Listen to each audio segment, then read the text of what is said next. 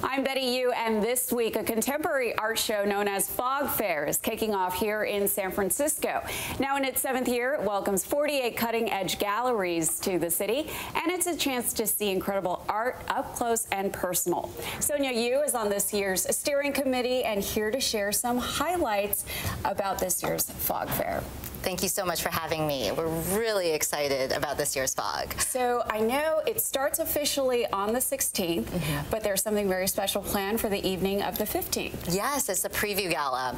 It's a really special gala because it's a few, it's, it's one of the rare times where you can have a party with all the art in the galleries, the gallerists, so you're in this gorgeous, gorgeous setting. On top of that, backed by popular demand this year, is Stanlee Gatti's 21 Pop.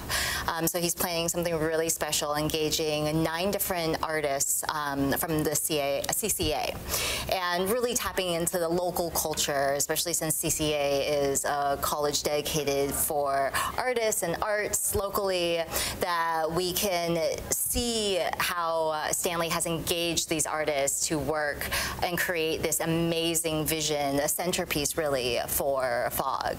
Um, it will be unveiled tomorrow night, and there will be parts of it that are available for purchase at a very approachable price.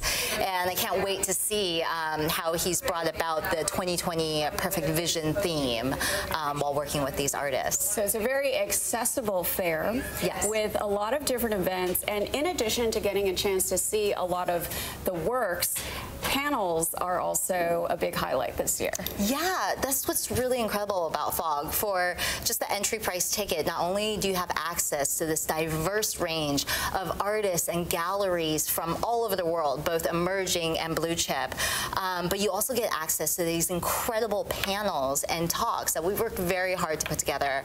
Um, one that I'm really excited about is around um, creating visibility for women in the art world and it's with Andrea Bowers, an incredible female artist, Gary Garrels, uh, curator at SF MoMA, and Komal Shah, who is an activist collector, and really talking about how women and their place not only in the art world, but really on a larger scale, and how that impacts perspective, uh, what we see, and the access that we have.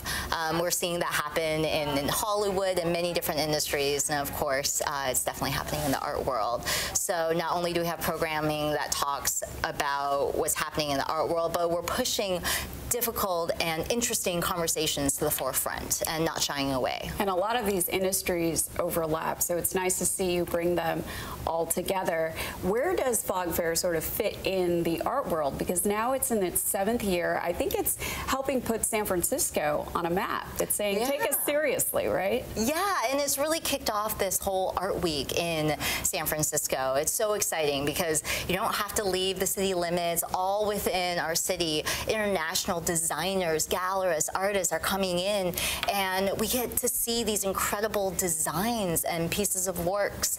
Um, before, you know, a museum might buy them up and they end up on the other side of the world and we don't get to see them again. So I just find that access to be incomparable. Um, I feel so fortunate to be in San Francisco, a part of this art week. It's all happening at Fort Mason. Yes. 16th through the 19th, and there are several events. You can go to the website also to find out more information. Absolutely. Sonya Yu, thank you so much for joining us today and sharing some of the big events for Fog Fair. Thank you so much for having me.